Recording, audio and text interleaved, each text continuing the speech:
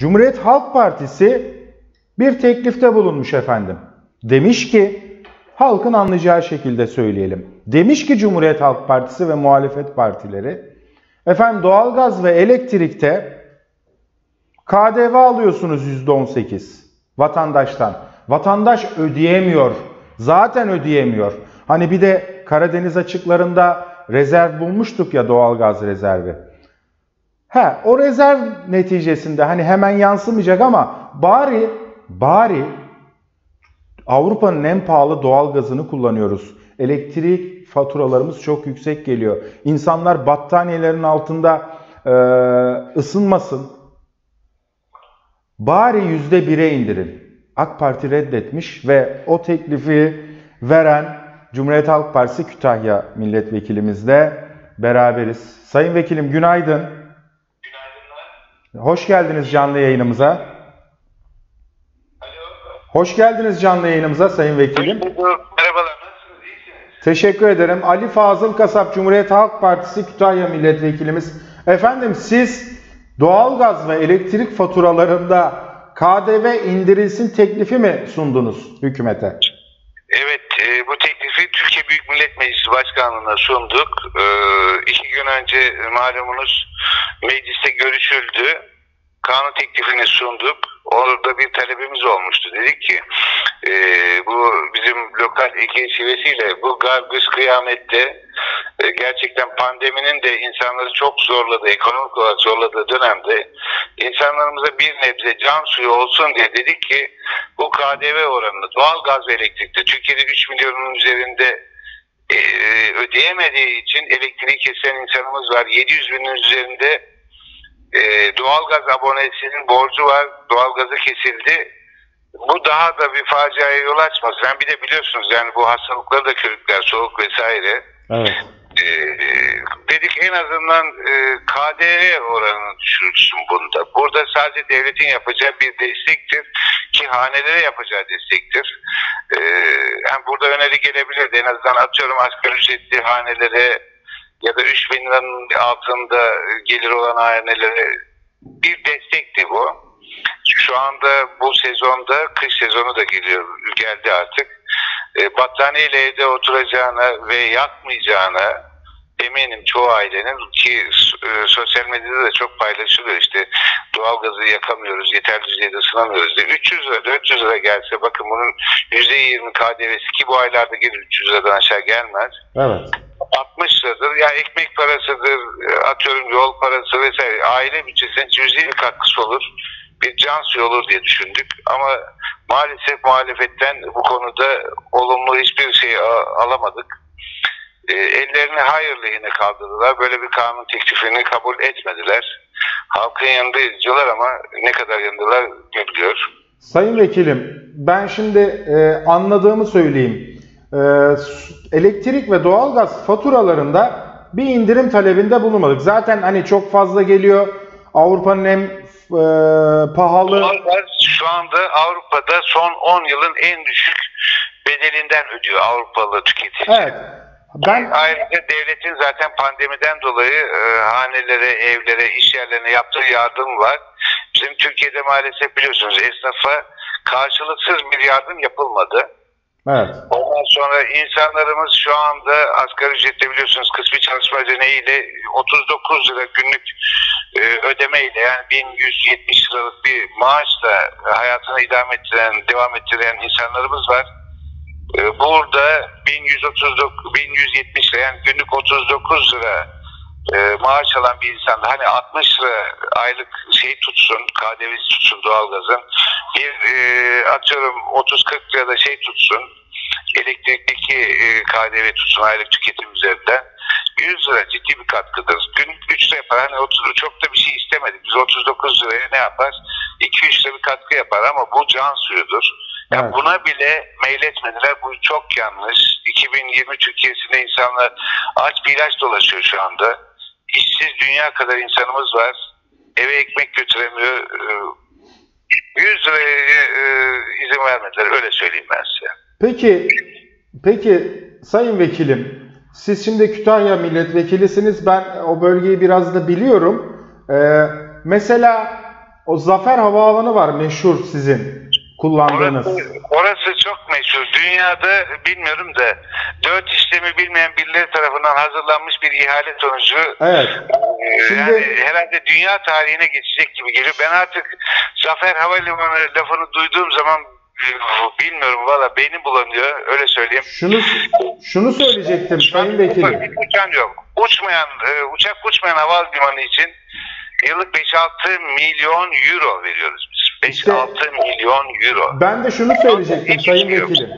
Yani KDV, doğalgaz ve elektrikten bir KDV indirimi istiyoruz. Bu hani ödeyemeyenler için bir can suyu olur. Çocuklarımız belki biraz daha ısınır. Yani petekleri Sayın Enerji Bakanımız, e, zamanın Enerji Bakanı söylemişti. Faturalar yüksek geliyorsa e, bir tık düşürün dereceyi mesela. Öyle bir bizim düşünemediğimiz bir şeyi söylemişti. E, Valla vatandaş şu anda bir tık değil tamamen tık yapıyor. E, şu anda çalışmıyor ben size söyleyeyim. Keşke Zafer Havaalanı'na o inmeyen uçaklara ödediğimiz, müteahhitlere ödediğimiz geliyor. parayı Ee, ödemesek de bu doğalgaza yansıtsaydık keşke. Ee, amenna. Şöyle söyleyeyim bir tek o değil Osman Gazi'ye kadar bir sürü şey var. Örnek verilebilecek ama Zafer Havalimanı'nda şu anda hiç uçuş yok. Hemen hemen yılbaşından bir, bir günde 20 falan yapıyordu ama haftadaki 3 gün seferi vardı. Ee, o Türkiye tarihinin en e, hesap bilmez ihalelerinden biridir. Dünya tarihine geçebilir. Ee, böyle bir ihale olmaz. İlkokul çocukları bile bu hesabı daha iyi yapardı ama maalesef oradan e, çok ciddi zararlarımız var. Onun benzeri yüzlerce var. Ben size bir şey daha söyleyeyim. O e, Sayın Albayrak'ın söylediğine ilave şöyle söyleyeyim. E, apartman yöneticileri e, apartmanlarda oturanları soruyor. Acaba bugün yakalım mı yakmayalım mı?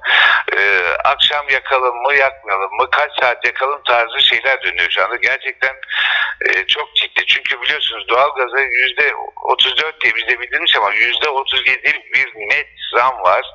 Bu yıl içinde gelen. Aynı şekilde yüzde 34'lere varan elektrik zammı var. E, şimdi şöyle ben size onu söyleyeyim. Dolar kuru mesela bir hafta içinde çok ciddi düzeyde düştü. Özellikle Albayrak istifa ettikten sonra düştü. Peki bunu doğalgaza onu bile yansıtmayan bir idari yapılanma altındayız biz. Burada bence zulüm var ya. Bu kadar da e, yazıklar olsun diyeceğim. Sokak hiç iyi değil. Ben size söyleyeyim. İnsanlar gerçekten sıkıntılı. E, sohbet havasını gerçekleştiriyor. Dün e, bizim kuzen var. E, teyzeoğlu diyeyim. Onun eşi e, şu anda rahatsız. Hastanede yatıyor. Allah şifa versin. E, kendisi Almanya'da kalıyor ama Kütahya'dayken hastalanmış. Şöyle söyleyeyim. Sordum ben. Dedim Almanya'da size ne yapıyorlar? e, iş yerleri şu anda kapalı olan iş yerlerinde çalışmadan e, maaşının yüzde seksenini veriyor. Devlet karşılıyor. Yüzde e, yarısını işveren yarısını e, devlet karşılıyor. Mesela atıyorum 2000 euro alıyorlarsa 1600 euro alıyorlar şu anda. 800'ünü devlet 800'ünü çalıştığı kurum veriyor. Peki Türkiye'de nasıl olay? Diyorlar ki sen çalışma kız bir işte o 39 lira. E, 39 lira günlük veriyorsunuz 1170 lira. Ya da ötekini biliyorsunuz 1700 lira olan her neyse. Burada peki esnafa bir şey yapıldı mı 25 bin TL sözde can suyu destek verdiler. O 25 bin TL'yi şu anda e, geri ödeme kapsamında alacaklar. E, ana parası da bindi. Ertelendi ama üzerine faizi binerek tekrar alacak devlet. Sonra şahıslara bir 5 milyar lira civarında para verdiler. E, peki e, yapılan e, o usulsüz gereksiz harcamalar şu anda insanlara e, devletin yardım etme yollarını da kapattı. Ama dedik ki işte zaten 240 milyar TL olan bir cari açığımız var. Bu seneye mahsus daha da yükselir. İnşallah yükselmez ama bu pandemi önümüzde devam edecek. Şu kar kışta gerçekten insanlara bir ekmek parası mahiyetinde keşke şu doğalgaz ve e, elektrik indirimi, KDV indirimi olsaydı çok iyi olur. Burada devlet alacağından vazgeçseydi çok iyi olurdu. Evet. Ama o zaman da herhalde tahmin edersem havaalanlarında yolcu garantisi verilen müteahhitlere dolar üzerinden, euro üzerinden, e, Tabii döviz İstanbul üzerinden Havalimanı'nı da hesap ederseniz e, onda da zaferden çok çok büyük e, kayıplarımız olacaktır. Osman Gazi hakeza. o paralar ödenemezdi ama KDV indirilseydi sayın vekilim. Onu da Efendim? düşünmek gerekiyor. Müteahhitlere o paralar ödenemezdi. Şimdi onu biliyorsunuz zaten meşhurdur. Hani o e, dünya beşten e, küçük büyük. Beş müteahhitten de büyük ama daha da büyük. O beş müteahhide verilen paralar var. Onların e, şu vergi ziya cezalarının e, silinmesi var. E, milyarları tutuyor biliyorsunuz onu. E, o vergi bile karşılıyor. Pardon o cezaları silmeseler de o bile yetiyordu aslında. Evet, sokakta vatandaşlar bunları dile getiriyor herhalde size Sayın Vekilim. Vatandaş her şeyin farkında sandığı bekliyor. Evet. Çok sessiz ço- e, çoğunluk sandığı e, valla sabırla bekliyorlar.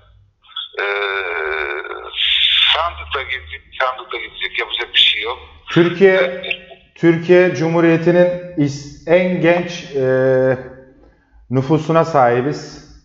E, Cumhuriyet tarihindeki en genç nüfusa sahibiz ama ilk defa e, çalı- çalışan sayımız işsiz sayımızın gerisinde kaldı. Genç işsizlerde rekor kırıyoruz. E, gençler ümitsiz, umut içerisinde Yani değil. İşkura başvurmayanlar var ki o da. Yani işkura başvurmayanları da sayarsanız Evet. gerçek reel işsizlik rakamımız bizim çok çok yüksektir. Türkiye'de işsizlik rakamı belirlenirken ki kriter bu dünyadaki İLO'nun kriterlerinden çok farklıdır. Bizde köyde kalan herkes çiftçi kabul edilir. Ama şu anda şehirden köye göç var. İşsiz kaldığı için, burada işini kaybettiği için anne babasına sığınan ay, e, şey gencimiz çok. Onu söyleyeyim size Evet. Kaybettiği için. Ondan sonra ev hanımları işsiz kabul edilmez Türkiye'de. Yani ve iş kura sonu 90 gün içinde müracaat etmediyseniz yine e, işsiz kabul edilmiyorsunuz. Onları saydığınızda bizim işsizlik rakamımız çok çok yüksek. Evet, Allah yardımcımız olsun.